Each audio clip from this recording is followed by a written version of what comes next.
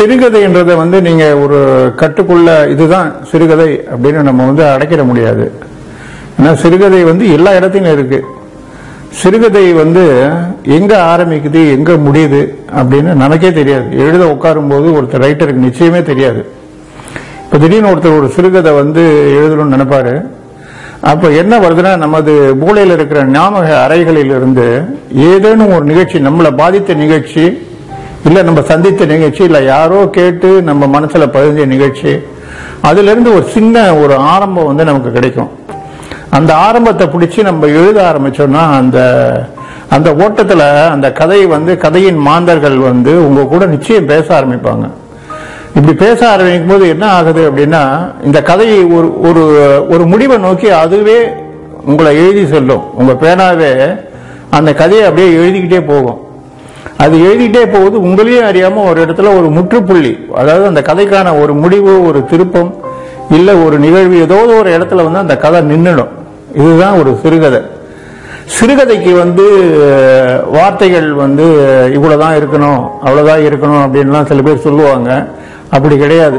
நூறு வார்த்தைகளில் எழுதினாலும் ஒரு சிறுகதை தான். ஆயிரம் வார்த்தைகள் எழுதினாலும் ஒரு சிறுகதை தான். ஆயிரத்தி ஐநூறு வார்த்தைகள் எழுதினாலும் ஒரு சிறுகதை தான். நீங்க ஆங்கிலம் மற்ற பெரு மொழிகள்ல பாத்தீங்கன்னா சிறுகதைகள் வந்து எல்லாமே பெருசு பெருசா இருக்கும். நாற்பது பக்கம் ஐம்பது பக்கம் சிறுகதை இருக்கும். இப்ப இங்க என்ன ஆச்சுனாக்கா வந்து உங்களுக்கு மைக்ரோ நொடி சிறுகதைகள் அப்படின்னு சொல்லிட்டு ஒரு துணுக்கு கூட சிறுகதை அப்படிங்கிறாங்க. அது சிறுகதை அல்ல. சிறுகதைன்றது ஏதோ ஒரு விஷயத்த உங்களுக்குள்ள ஒரு தாக்கத்தை ஏற்படுத்தணும். உங்களை வந்து லேசா ஒரு நல்ல திரைப்படம் பார்க்கும்போது ஏதோ ஒரு காட்சியில வந்து நம்மளையும் மெய் மறந்து நம்மளையும் மறந்து திடீர்னு நம்ம கண்ணு கலங்கி லேசா ஒரு துளி தண்ணி வருது பாத்தீங்களா? அது மாதிரி சிறுகதையிலையும் வர வைக்க முடியும். சிறுகதைங்கிறது வெளியிலயும் இருக்கு உள்ளேயும் இருக்கு. அது எங்கிருந்து வேணாலும் ஆரம்பிக்கலாம். இப்ப இருக்கிற காலகட்டத்தில் சூழ்நிலையில பாத்தீங்கன்னா சிறுகதை எழுதணுங்கிற ஆர்வம் வந்து எல்லோருக்கும் இருக்கு. நம்ம வந்து ஒரு நல்ல சிறுகதை எழுதணும். நம்மளை எல்லாரும் கவனிக்கணும். அப்படின்னு நினைச்சுக்கிட்டு சில பேர் வந்து வார்த்தை ஜாலங்களை போட்டு வார்த்தைகளை மாற்றி சொடுக்கி போட்டு ஒரு சிறுகதையை படைக்கிறாங்க. ஆனால் அது வந்து என்னைக்கும் நிலைக்காது. ஒரு ஆத்மார்த்தமாக நீங்கள் ஃபீல் பண்ணி ஒரு நிகழ்ச்சியை ஒரு சிறுகதையாக தரும் தரும்போது அந்த சிறுகதை வந்து காலம் கடந்து பேசும் காலம் கடந்து நிற்கும். இப்போ இங்கே என்ன ஒரு சிக்கல் இருக்குன்னா அந்த ஜாதி மதம் இந்த அந்த மாதிரி ஒரு எழுத்தாளர்கள் வந்து பிரித்து வைக்கிறாங்க. அது கூடாது. சிறுகதைக்கு ஜ- சிறுகதை எழுதுறவனுக்கு ஜாதி இருக்கக்கூடாது. அவன் ஜாதியை மனசுல வச்சுட்டு சிறுகதை எழுதினான்னா அந்த சிறுகதை சிறந்த சிறுகதையாக இருப்பதற்கான வாய்ப்பே இல்லை.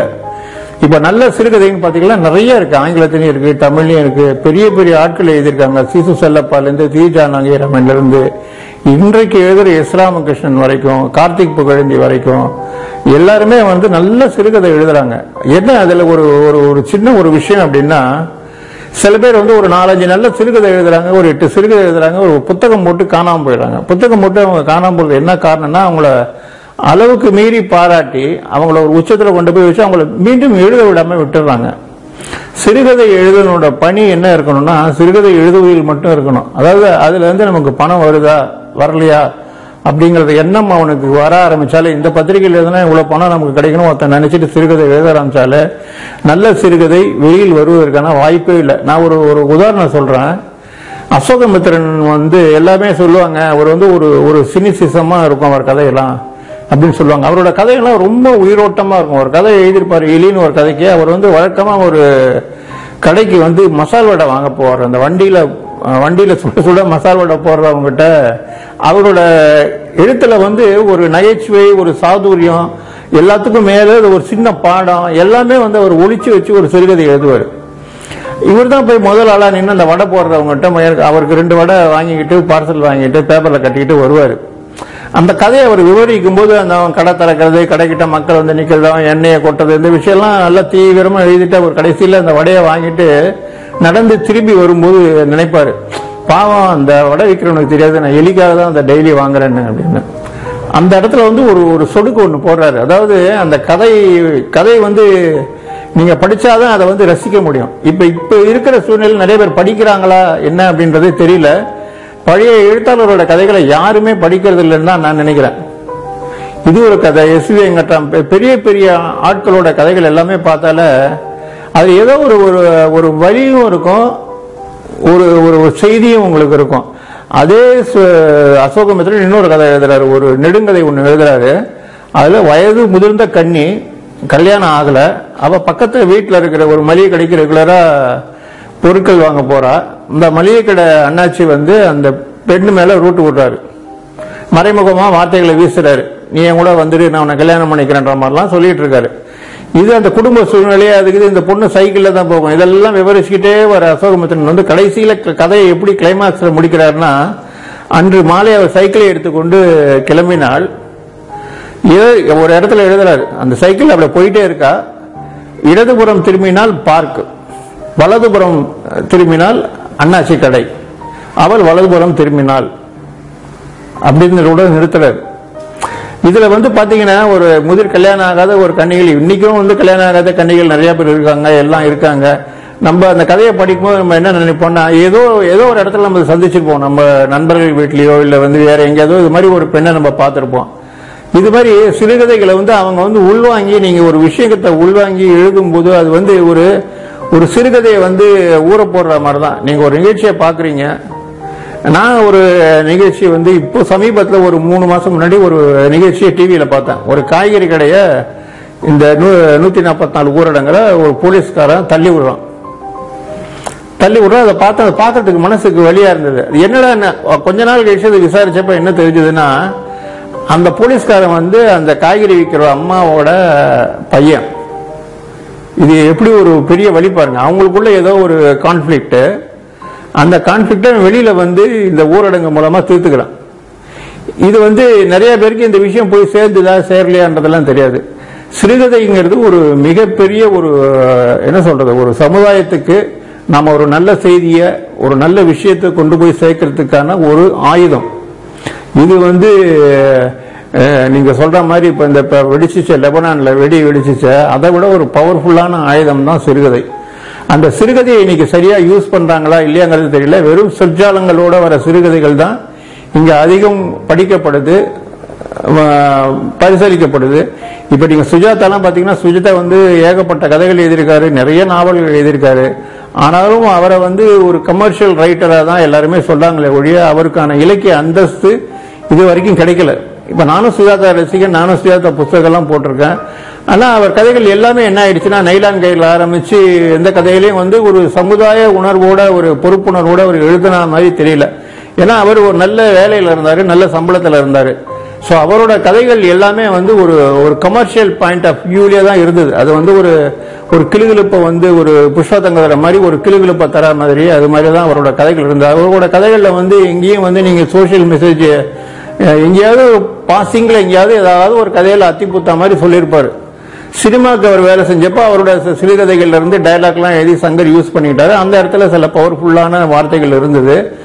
ஆனால் சிறுகதைங்கிற ஃபார்மில் அவர் எந்த வித ஒரு கான்ட்ரிபியூஷனும் சொசைட்டிக்கு தரலங்கிறது என்னோட என்னோட கருத்து.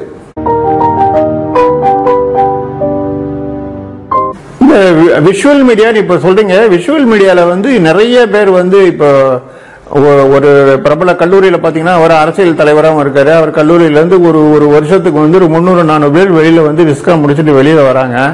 எல்லாரும் ஷார்ட் பிலிம் எடுக்கிறாங்க. எல்லாமே சிறுகதைகளை தான் யூஸ் பண்றாங்க. அவங்க நிறைய பேர் அவங்களே ஷார்ட் ஸ்டோரி எழுதி ஒரு திருப்பத்தை வச்சு ஒரு சிறுகதையை யூஸ் பண்றாங்க. சில பேர் ரைட்டர்ஸ் கிட்ட வாங்கி பண்றாங்க. ரைட்டர்ஸ்க்கு இதனால பெனிஃபிட் இருக்கா இல்லையா அப்படின்ற ஒரு இதை தாண்டி சிறுகதைகள் தேவைப்படுது. அப்படின்றது உறுதிப்படப்படுது இப்ப நிறைய ஷார்ட் பிலிம்ஸ் பாத்தீங்கன்னா based on best short stories சா கந்தசாமி கதைகள் நிறைய இதாக இருக்கு. லாசாரா கதையை இப்போ எடுக்கிறாங்க. சுஜாதா கதையும் எடுக்கிறாங்க. நிறைய பேரோட கதைகளை எடுத்துட்டு இருக்காங்க. இந்த காலத்தில் கதைகளுக்கான தேவை நிறைய இருக்கு. ஆனால் எழுதுறதுக்கான ஆட்கள் மிகவும் கம்மியாக இருக்காங்க.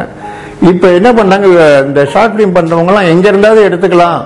யாருக்கும் தெரியாம ஒரு ஒரு கதையை வந்து ஒரு நம்ம கையாண்டுக்கலான்ற மாதிரி தான் நினைக்கிறாங்களே ஒழிய ஒரு நல்ல சிறுகதையை எடுத்து பண்ணணுங்கிற ஒரு ஆர்வம் வந்து இன்றைக்கு இருக்கிற ஷார்ட் பிலிம் மேக்கர்ஸ்க்கு இல்லை அப்படிங்கிறது தான் என்னோட கருத்து.